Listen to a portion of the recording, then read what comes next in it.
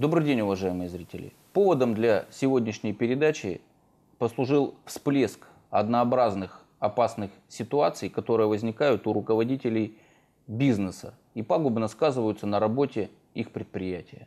Первая ситуация, выражаясь языком коммерсантов, это увод бизнеса на фирмы-паразиты. Это касается зачастую фирм, оказывающих услуги там, людям или компаниям по перевозке товаров, грузов. Ну, также это касается любого направления предпринимательской деятельности.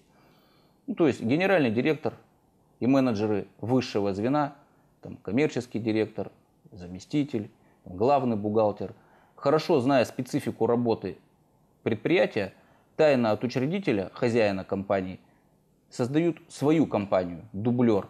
Ее еще называют паразит. Дальше схема банальная. Вступают сговор с клиентами основной компании, донора. Ну, донора, потому что из нее высасываются вот эти энергетические силы, коммерческие соки. Ну, параллельно насыщается компания-паразит вот, клиентурой, клиентской базой компании донора. Клиенты уводятся. То есть неожиданно расторгаются контракты с фирмой-донором, все переходят в эту фирму. Преступники копируют клиентскую базу, на флеш-носители с этой компанией. Ну, как правило, коммерческие договора там о тайне не заключаются, хотя они, разумеется, дисциплинируют сотрудников компании, э, угрожая ответственностью справедливой и законной. Бухгалтерия чистится, уничтожаются бумаги, организуется пожар, хищение и тому подобное. После этого увольняются под различным предлогом вот эти менеджеры, они переходят работать в новую фирму, уже свою собственную фирму, фирму-паразит. А хозяин старой фирмы, фирмы донором, остается со своим умирающим предприятием. Помните, доверять трудовому коллективу надо. Но если доверие перейдет вот эту невидимую границу, и вы переложите управление своим бизнесом на ваших менеджеров, перестав контролировать свое предприятие, случится переворот, ну, так называемая оранжевая революция. Иначе говоря, сначала менеджеры, освоившись на работе, начнут подворовывать, подщипывать, потом почувствуют себя фактическими хозяевами вашей фирмы, а потом станут и юридическими хозяевами. Поговорка «доверяй, но проверяй». Если такая проблема возникла, то для ее решения вам нужны профильные адвокаты.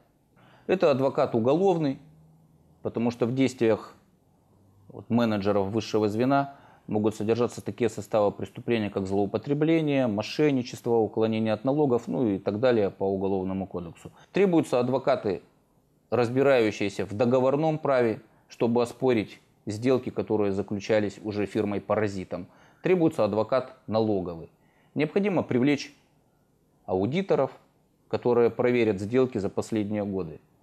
Ну, соответственно, если есть возможность, привлеките информаторов – о фирме паразите, которые будут сообщать информацию вам. Вторая ситуация – это рейдерский захват. Такой захват не редкость. Он готовится заранее. Тщательно планируется через кротов. Кроты – это недовольные соучредители, акционеры, подкупленные директора, ну, не обязательно генеральный директор. Это могут быть там, коммерческий директор, финансовый директор – там, заместитель генерального директора, главный бухгалтер, ну и так далее. Для этого рейдеры подключают опытных корпоративных юристов. Заранее изучаются учредительные документы фирмы мишени на предмет слабых сторон там, устава. Происходит сговор с реестродержателем акций, если это акционерная компания. Заключаются сомнительные сделки. Ну, меняется по поддельным протоколам общего собрания генеральный директор. Ну, в обусловленный день происходит захват административного помещения, здания, ставится свое охранное агентство, входит служба безопасности своя, присваивается вся документация, включая бухгалтерская. Ну, и таким образом революция состоялась. После этого зачастую заключаются спешно сделки купли-продажи с активами, чтобы предприятие оголить, обнулить. В такой ситуации также требуется быстрое противодействие захватчикам – ну, то есть комплекс реанимационных мер, чтобы отбить эту опасную атаку. У рейдеров всегда есть связи с полицией того района, где дислоцируется предприятие там, или база. Ну, для чего это требуется? На предмет отлавливания, это сленговый термин, заявлений потерпевших на предмет возбуждения уголовного дела, чтобы отказать в этом возбуждении. Раньше рейдерские захваты были жесткие, сопровождались, как правило, физической ликвидацией учредителей, акционеров, которые там, неожиданно для всех пропадали без вести. Для устрашения и большей сговорчивости других акционеров, ну, парализации их воли, присылали порой курьерам на моей практике отрубленные руки, там, кисти рук, пальцы их убитого там, друга, акционера, или траурные там, венки, завернутые в праздничную упаковку, ну или могильные таблички, чтобы человек был более сговорчив, ну и так далее. Но тем не менее, при такой ситуации необходимо не бояться, а грамотно выстраивать линию контратаки. Как и в первом случае, также привлекать э, сразу несколько профильных адвокатов. Один юрист зачастую первый попавшийся, знакомый, но не может контролировать и решать все проблемы, которые возникают в такой ситуации на предприятии. Нужен комплексный подход. К тому же одного юриста, адвоката можно просто-напросто нейтрализовать, запугав. Третья ситуация – это несправедливый раздел бизнеса между супругами там, или партнерами, учредителями, там, инвесторами.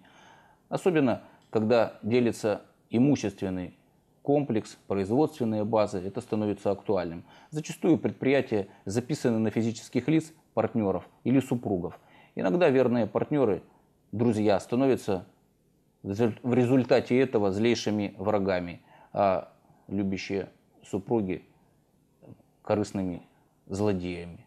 В таких случаях начинается, как правило, раздел имущества. Каждый норовит получить или все себе, или лучшие объекты недвижимости отхватить именно себе. О справедливости, там, морали, чести речи не идет. Здесь по принципу изуитов цель оправдывает средства. Интерес представляет не только количество полученного, но и качество его.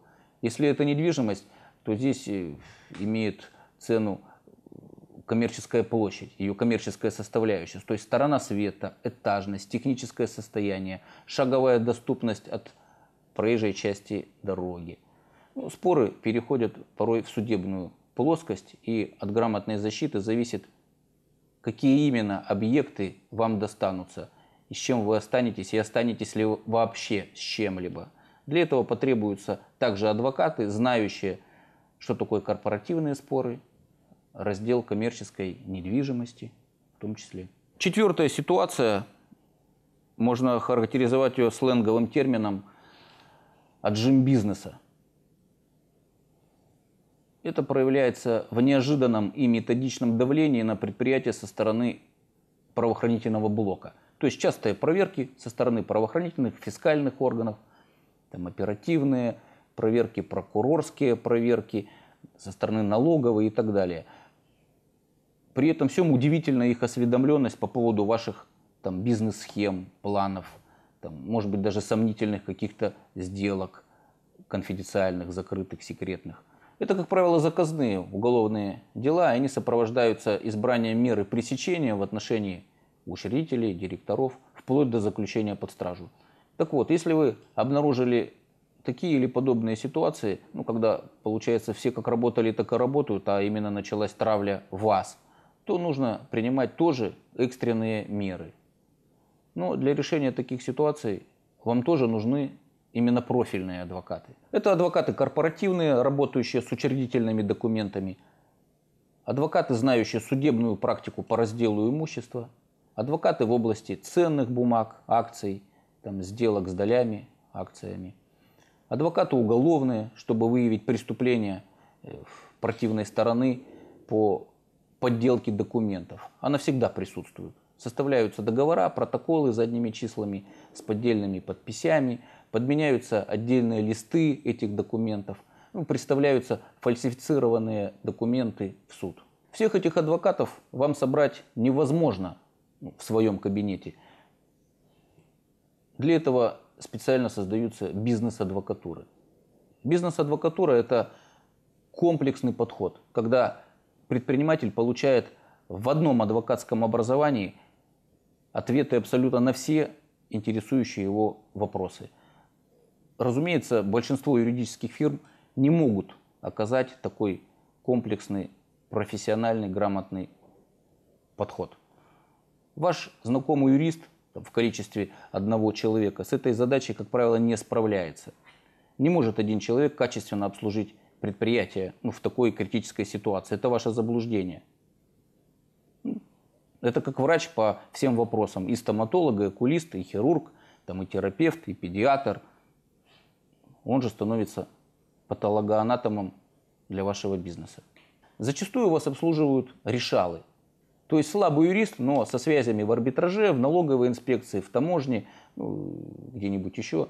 Но только связями не ограничишься. Бизнес нужно отстраивать, защищать грамотно. Ну, бумажка к бумажке, договор к договору. Решало может быть и нужен, но он не заменит профильных адвокатов.